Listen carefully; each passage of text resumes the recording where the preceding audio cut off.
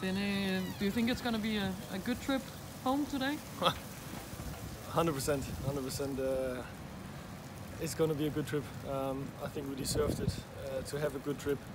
Also the fans, I hope they will also have a good trip. Um, I'm quite sure. Um, they also deserved it. It was uh, unbelievable. The support again today, um, a sold out away section, um, of course, like always, I would say. And uh, I think we showed uh, the, the right answer um, on the pitch uh, for them, what they deserved, um, because it was was some tough weeks, um, not only for us, also for them. So uh, I think uh, after that fight today, everybody um, uh, will have a good home trip. Perfect. See you, Benny. See you.